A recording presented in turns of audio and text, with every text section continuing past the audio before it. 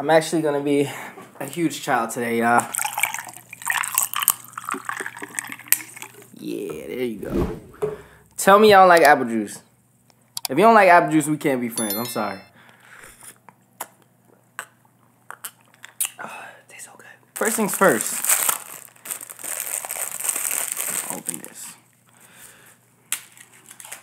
Let's see what fortune is. Y'all always ask me why I'm wearing the gloves, man, because they look cool, dude. I don't care about getting my fingers messy, man. I just want to. An investment opportunity will be profitable for you. I hope so, baby. I hope so, bro, because it's been rough. Gas prices been crazy. Man, we got everything up in here, man. We got some chow mein, teriyaki chicken, some uh, orange chicken, sesame seed chicken. We got some rice. We got, whew, look at that walnut shrimp right here, dog. Look at the walnut shrimp. Oh my goodness gracious. Walnut dude, man. Try that.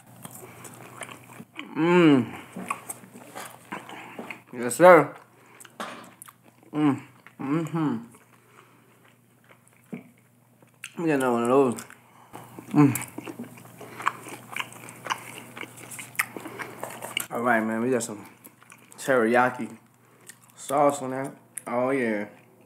Oh snap, baby. I always put teriyaki on my chow mein, dog. Always, man. Always. Got that nice teriyaki chicken right there. Yes, sir, skis. Mmm. Mmm, mmm, mmm.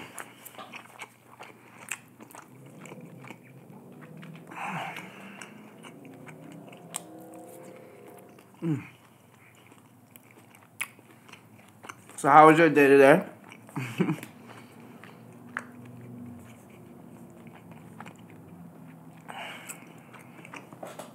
hope it hope it's going good.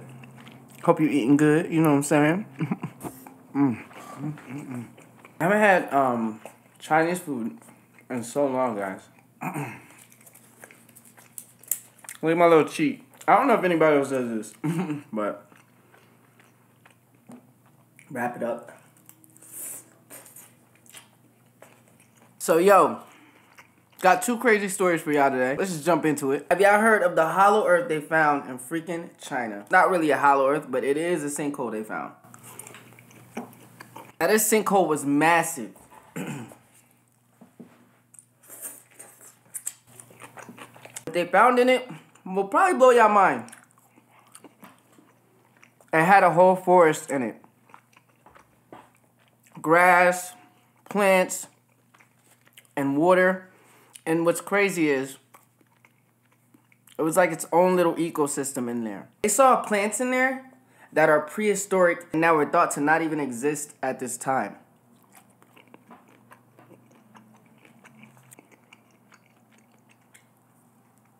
Now, my question is since you find prehistoric plants, what type of animals are they gonna find down there? Probably animal, animals they thought to be extinct. But let me tell you something. The U.S. doesn't teach us this, but they found around 28 other sinkholes like that all around the world. Or I think either in China or all around the world. And most people are just finding out about that in America now. It's crazy.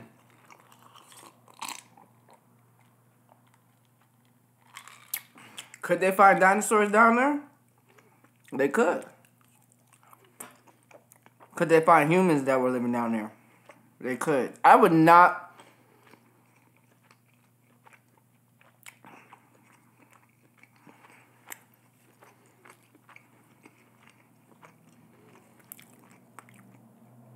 I would not think that there wasn't humans down there. You got there probably humans that fell down there or um species or or something that's or species that always live down there. I want to move down there. Get me away from civilization. you ever watch like van life or tiny home videos?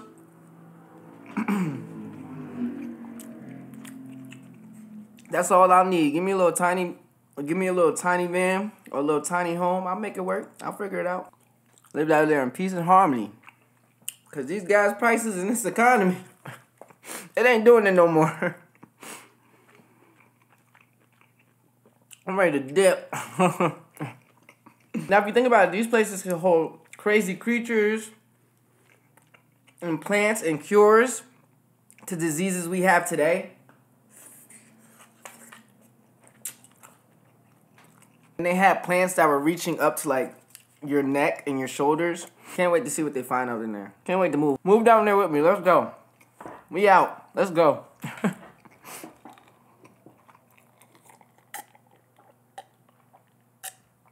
Second story. There were two sisters that saw something that still hunts them to this day. On January 20th in 1996, in Brazil, Varginha, Brazil to be exact, two young sisters were taking a trip through a vacant parking lot because they were headed home. When they witnessed something out of this world.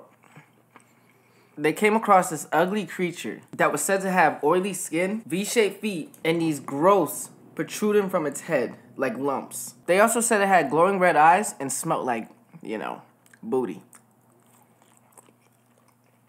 And not the kind I eat of your aunties, you know what I mean?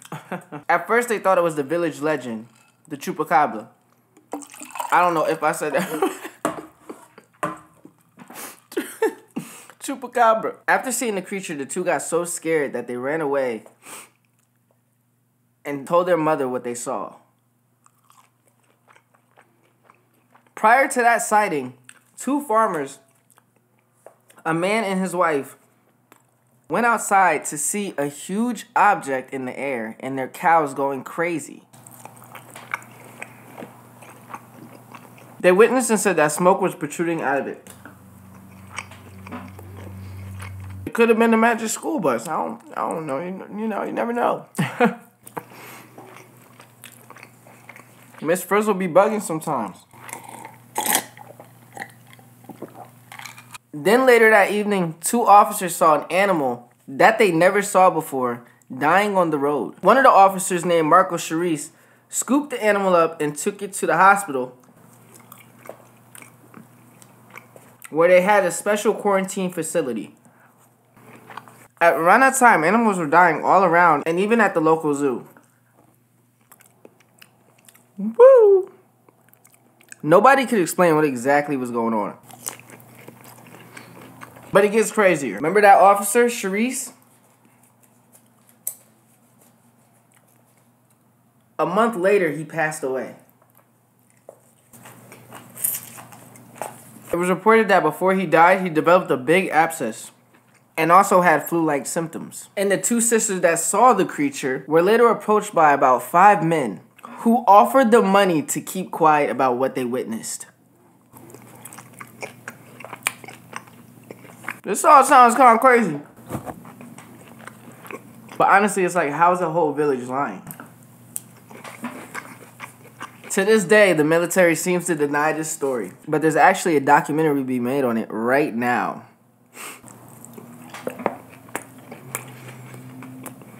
Look, if I was offering money to shut up, I shut up. Gas prices are too high right now, you know what I mean? I ain't telling y'all nothing. I ain't telling you or nobody else nothing.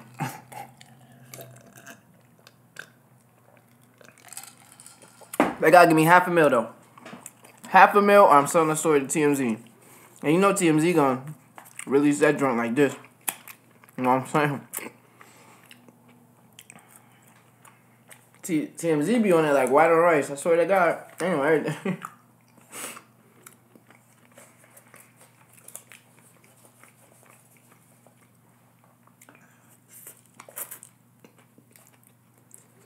Woo! I'm so good.